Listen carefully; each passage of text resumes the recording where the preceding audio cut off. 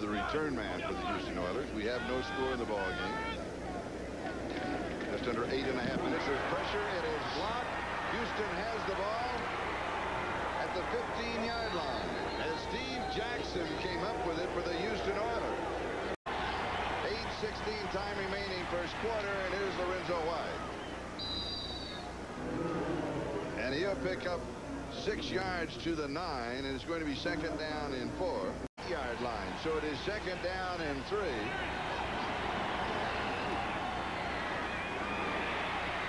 It is Givins into the end zone. Ernest Givins. And there it is, the, the electric slide. Houston seven and Denver nothing. We'll be back with a kickoff in just a moment.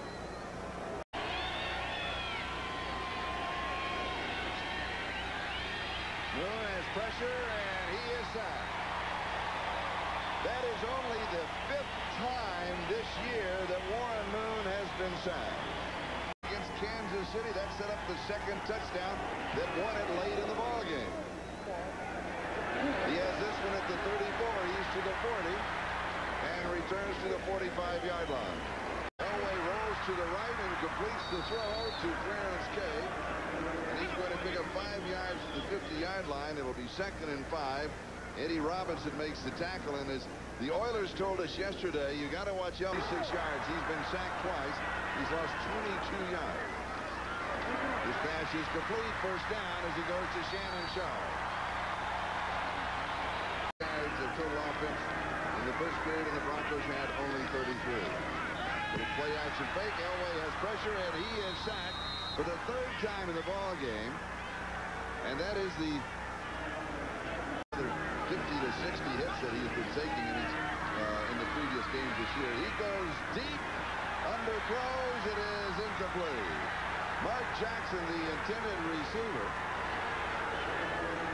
Jerry Gray moving over in the coverage, and the pass by Elway was underthrown. Videotape prior to the ball game on the right, of course, that is Bum Phillips, the former head coach of the Houston Oilers, and he had Dan Reeves. You on the same on the same side, that, that of course is uh, his son Wade, who's a defensive coordinator for Denver, and Bum is here uh, as one of the radio broadcasters. Moon stands in, he hits Jeffires, he breaks the tackle, and he picks up the first down to the 33-yard line, a gain of 13 yards on the play. Beginning to get into the ball game. Houston leading 7-0. Moon goes to Curtis Duncan and is incomplete. And they're going to drop a flag on him. That's not right. I don't think that's right at all. Fourth down. The question here is, does the ball come out right here? Obviously, that's a catch.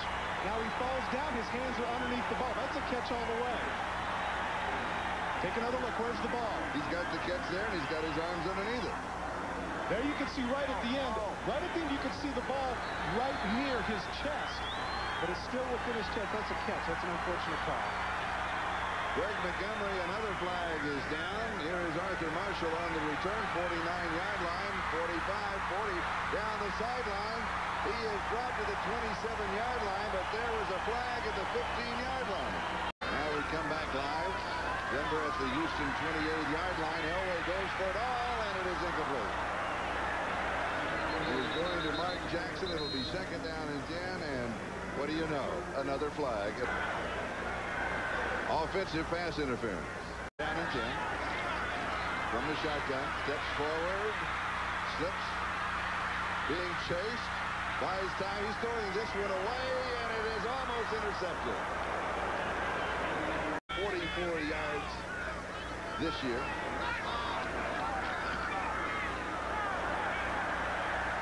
And he's got it. And the score is Houston 7 and Denver 3 with 11.41 left to go in the first half. For his touchdowns as well. Houston from their own 20-yard line. Pass is complete to Curtis Duncan. Now that is their sixth first down of the ballgame. And the first three, you may recall, came in that opening drive. They pick up a quick 26 yards on the play. All you do is stop them a couple of times in the ballgame. He said, and then Elway will do the rest. Here's Lorenzo White. Third down and four. First down, Houston. A flag is down. And this is Jeffires as he goes out of bounds on the far side, but there was a marker back at the 48-yard line. Illegal formation. Number 78 offense. That's what it is. Down up on the line of That's scrimmage. Don Maggs on the down. other side. So this is the third time in the ball game that the Oilers have been called for this. Moon flushed down to the pocket, and he is brought down from behind. Second sack of the ball game for the Broncos. Simon Fletcher got this one. Mecklenburg got the first one. Strong safety to Denver Broncos. These other guys get the notoriety because I'm just as good as they are. And I'm trying to agree with it. Well, he throws, he completes a pass. It is going to be right on the first down marker as he goes to Mark Jackson. Jerry Gray wrestles him down, and let's see where they spot it. So only the third first down in the ballgame for the Denver Broncos. And here's Gaston Green. He has the opening, breaks it loose. He's to the 40. He's to the 30. He needs a block. He gets the block. There is not a flag. Touchdown.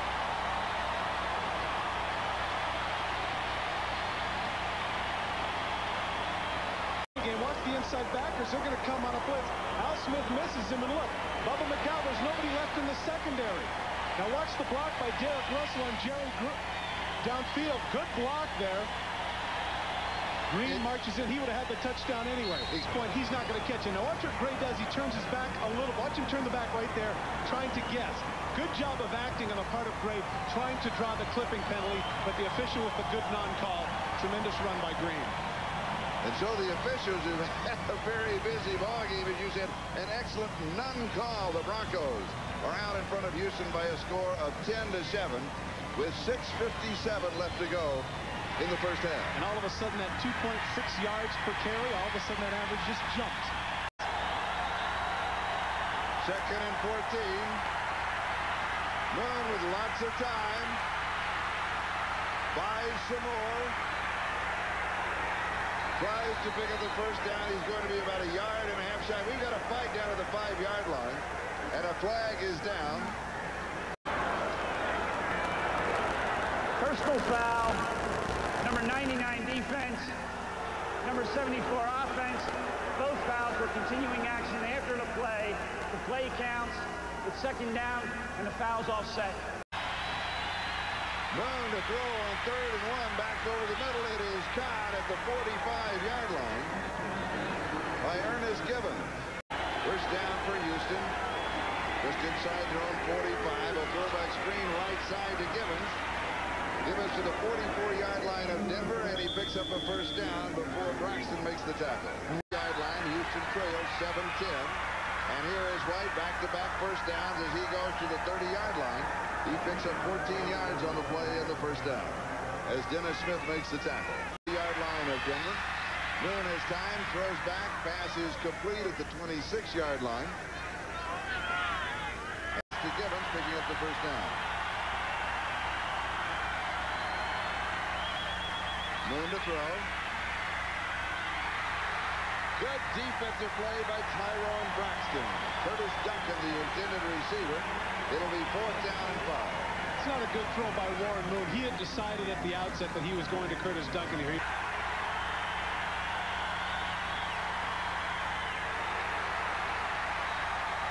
It is so far left, it's almost to the parking lot.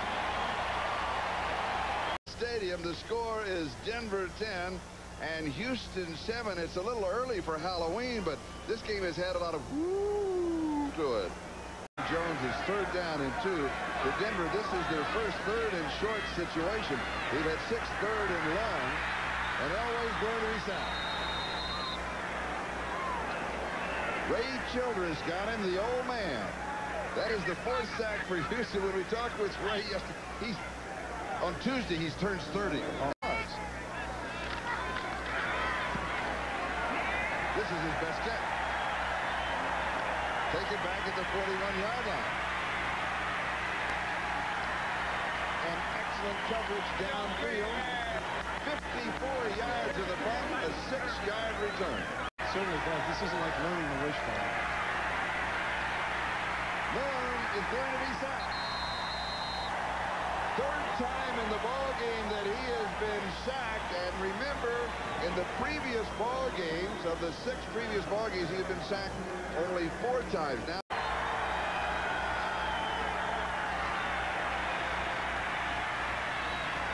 Moon throws for the first down to Curtis Duncan at the 35-yard line of Denver. Of course, that's what he will do in this run-and-shoot offense.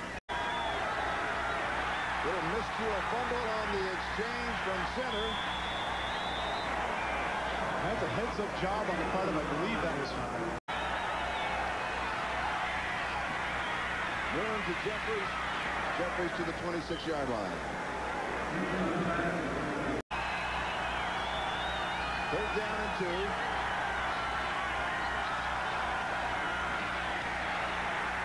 And White for the first down. It looks as if he got it across the 25-yard line. He may have heard you. He jumps to the outside. He's got his five yards and one to spare. And he is pulled down by Lilo Lamb. So he wears gloves all the time. It's okay. Second down and four. Comes back, throws left side. Haywood Jeffires. Flag down. Can be a face mask. I don't think there's any doubt about it. Top of him, pull him down, trying to hog time. And as Number result, 29. Charles five-yard got a piece of the face on to the mask. end of the run. First down. almost A lost little his slow on the exchange. Pass is on the five-yard line to Curtis Duncan. He is stopped there after five. Pick up the audible, and he might take somebody else into the other part of the play. Meanwhile, they just give it to Lorenzo White to score the touchdown. That solves all the problems for Houston. And we'll be back with a kickoff in just a moment as Houston now leads 14 to 10.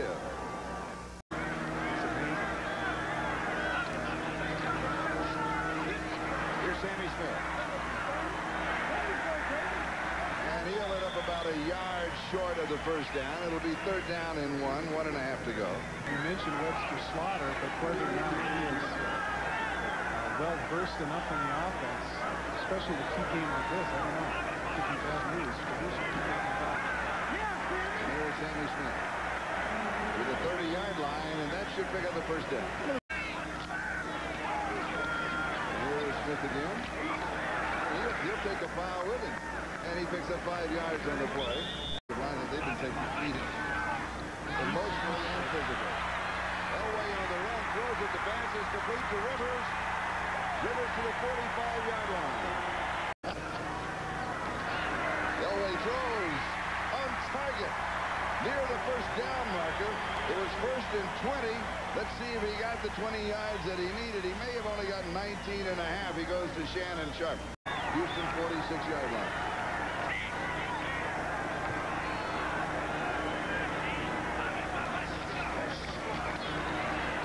And here is Sammy Smith. Picks up the first down. Two big plays a game. They almost have one there. Here is another one. They've got it again.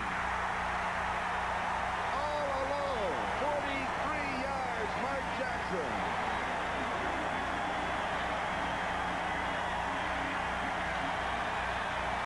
Denver leads by three. 17-14. One minute to go in the third. Third down and eight. Incomplete. It'll be fourth down. Doing a good job. Next to That is Blanche.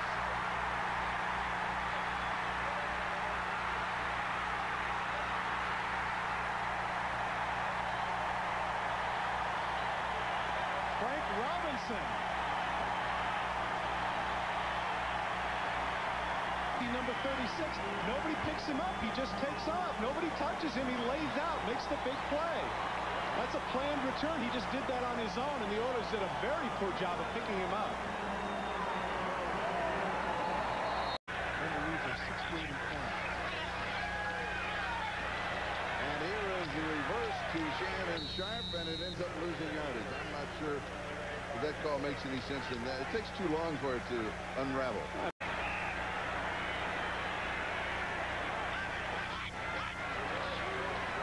Away from the shotgun. Left flat pass is complete to Vance Johnson. He is dropped immediately by Jerry Gray.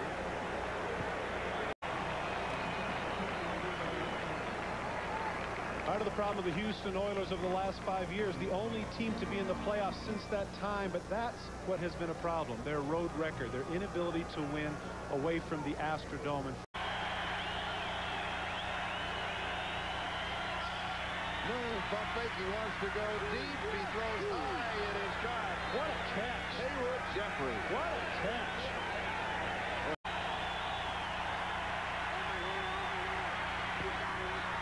First down.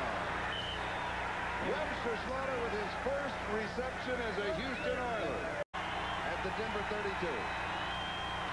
Here's White. Runs out the 26-yard line. Moon back tipped, and it is intercepted.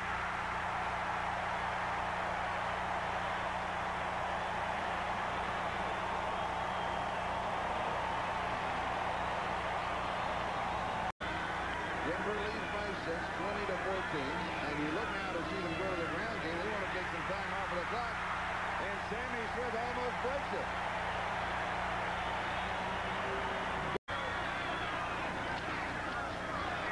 And here's Sammy Smith. He's back in the ball game, and he's ready to get the first down, 41-yard line. Nine yards on the play, and the first down, and the clock is moving. Third down and eight. Graphic says seven. We'll go along with that.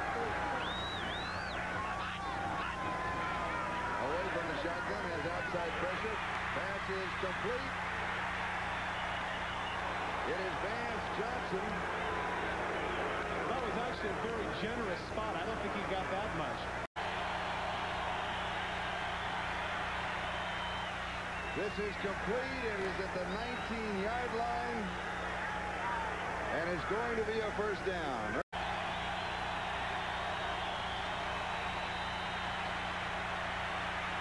Oh, the Lord, it can be a touchdown. Duncan, he is caught at the nine-yard line. Curtis Duncan got behind everybody. And Water caught him. I think of the isolating Jeffires to the left. They play action fake over the middle. It is there. Touchdown. Haywood Jeffires and Moon celebrates. That's the good news. The bad news, if you're an Oiler fan, is that there's 1 minute and 56 seconds left on the clock, and you're playing right into John Elway's hands. Does this become drive three? Elway throws, has a man open. It's at the 45-yard line. Get out of bounds. Stops the clock. Mark Jackson Elway at a heads-up move, almost went past the line of scrimmage, stopped, pull back. Clock is stopped 147, 30 the wrong way, 41-yard line of Houston. Fires this one, pass is complete, good move by Johnson. Vance Johnson goes out at the 20-yard line.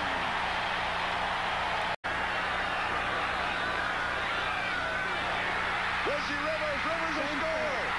Same thing. Unbelievable.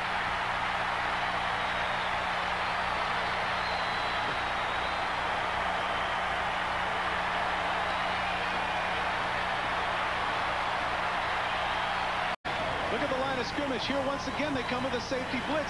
The people that are in man-for-man coverage have their back turned, and there's nobody in the middle of the field.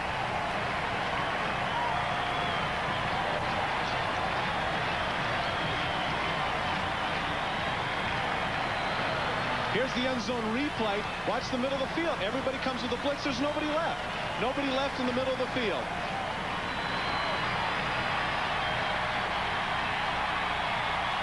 Well, I guess it never gets old. Number 24 right there, and he's come from behind. But let's not forget, the very thing that we had said earlier about John Elway now applies to Warren Moon.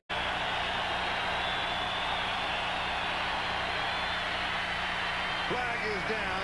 Pass is complete at the 41-yard line to Haywood Jeffires, but a flag dropped at the line of scrimmage.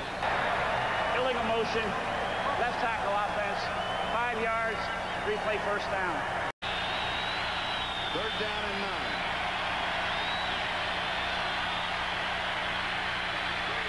He's sacked. 32 seconds left.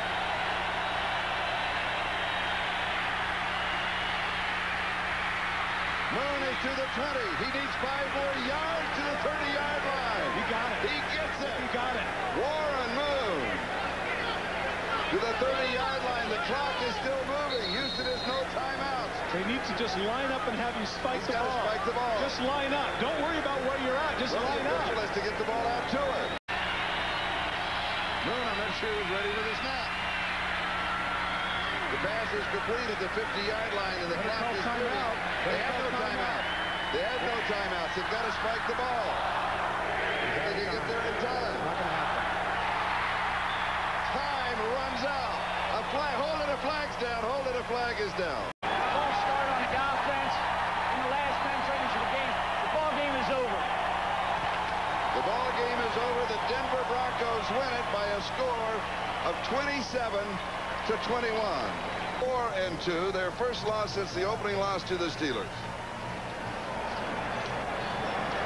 And now it's time for the Haggar wrinkle-free cotton super play of the game.